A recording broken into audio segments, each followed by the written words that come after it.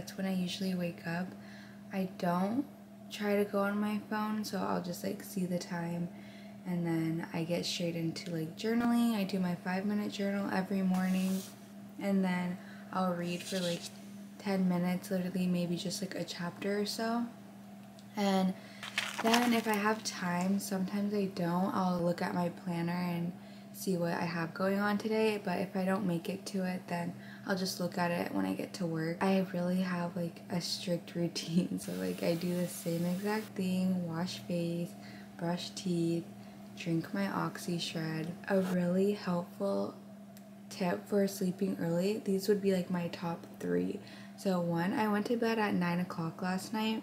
I would say going to sleep before 10 is like the biggest game changer for me. Two, there's like a sweet spot for when I wake up and feel good versus what time I wake up and feel like really tired. So I noticed that when I set my alarm for 6 a.m., I feel really tired when I wake up um, at that time. But if I wake up anytime before 5.15, I would say, so like 4.35, 5.15, I feel really good. You have to listen to your body and see what like feels better for it. I used to literally, like I was the one who was late to school every single day because it was just really early for me and I was not a morning person and I never thought I could become one and I would wake up like on the weekends at like literally like 12 or 1 p.m. So you're very capable of waking up earlier if you want to. It's just all about like playing around with what works best for you. You can also just try setting your alarm 30 minutes earlier and 30 minutes earlier like over time until your body gets used to it. I have so many alarms, so it really just takes being consistent, sticking at it, like give yourself like time to get used to waking up early. And three, have something you look forward to. Breakfast is my favorite meal of the day. I love my morning routine. Like, it's something that I look forward to because it's just me time. I'm journaling. I feel like really energized. Um, and I'm just able to like have a clear mind in the morning, I think. This is one of the things that I look forward to every morning. Um, aside from the gym, I love this drink. Like, I think it just puts you more in the mindset of like okay, we're getting ready to go to the gym. I like the gym. I saw this TikTok and it was like, everyone needs a fun little silly drink to get them through life. And that's so true for me. Like, whatever you have for yourself in the morning that you can look forward to.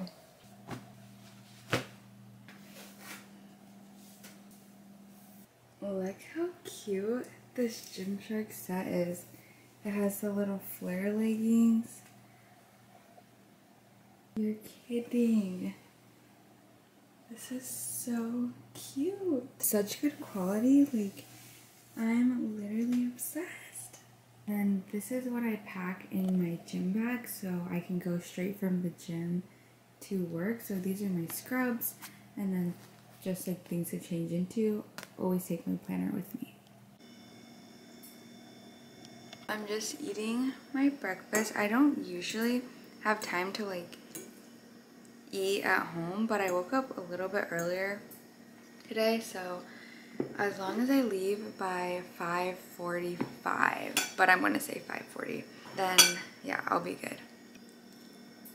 This is just three egg whites, and I just have something really light before, and then I will have like a bagel after I brought um, my own bagel from home to eat after.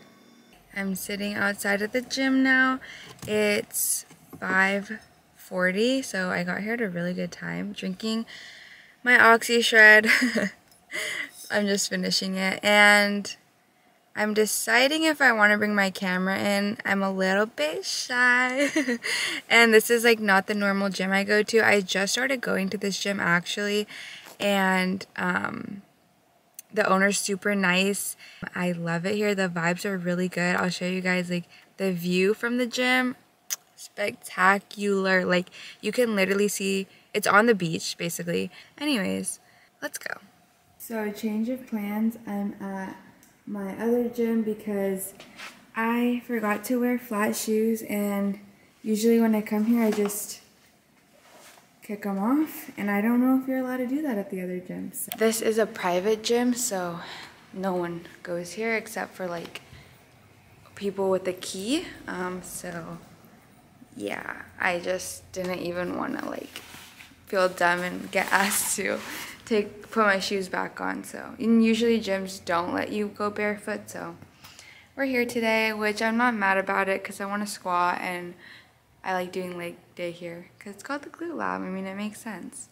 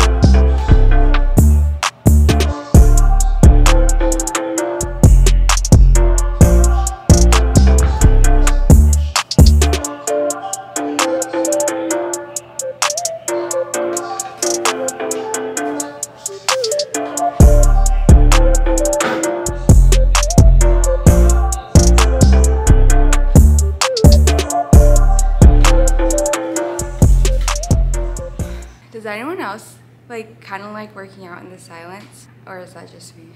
I don't know. But today's a silent workout. I got my chalk on. We're doing a superset, 45 degree hyper, and then step ups. Um, and then I'm gonna finish up with like a hip thrust um, type of lower weight, higher rep workout. And we'll be good.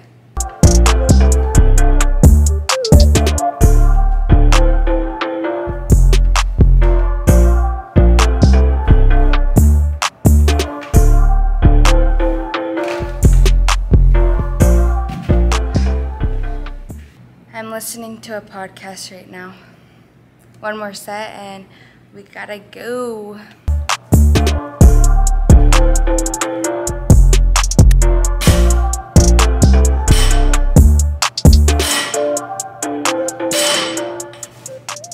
I changed into my work clothes. I am off to work.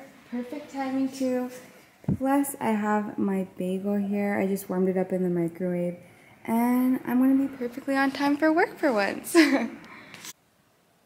I work as a full-time medical assistant in dermatology and it takes me about 30 minutes with no traffic to get to work and usually there's no traffic at this time and then I get off of work at 5 and then after work it's a lot more busy but um, yeah so I get home around like 6.15 make dinner and just like do my little night routine, which is just me like doing time or taking time for myself. I thought I'd talk a little bit about my job like while I'm driving because people ask me like how I got this position. So I was in college and I um, was pre-med and then I went to like my school's like pre-med counseling and had like a mentor and stuff.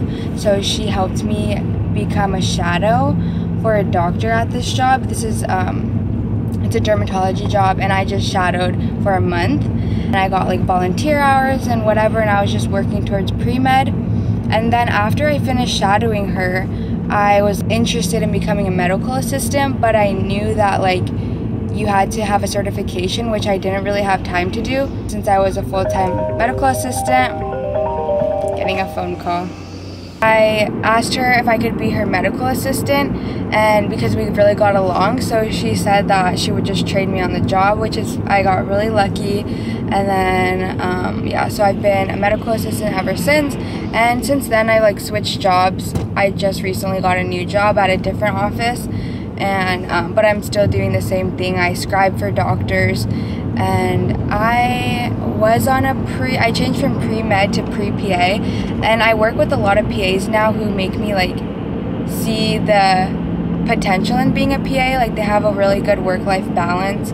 But I'm still undecided. I like really do want to work on my business. I have a small business right now called Girl Gains. It's a female weightlifting club.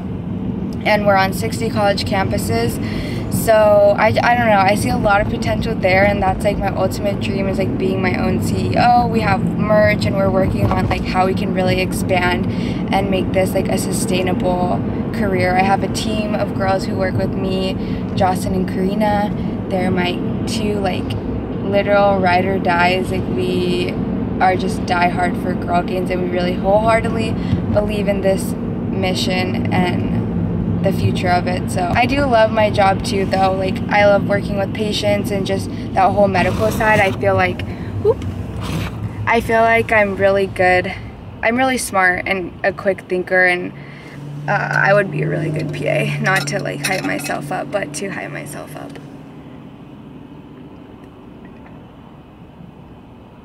Guess who got Starbucks and is now probably gonna be late yeah, that's really basic of me.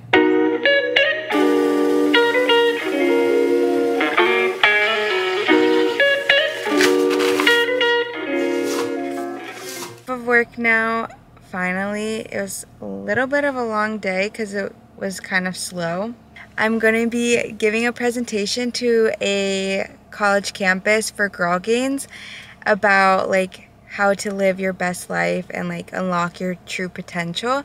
So yeah, I'm really excited. I'm gonna mention it prob probably in every video. But Girl Gains is a female weightlifting club I founded at San Diego State. And now we're on like 65 college campuses. So I offer to speak on Zoom at all of them, like anyone who wants to have me. And I've been doing like so many so far. I have a lot more scheduled. So yeah, I'm excited. The inner work is like the. I'm about to do my slideshow, and these are some of the slides. Join.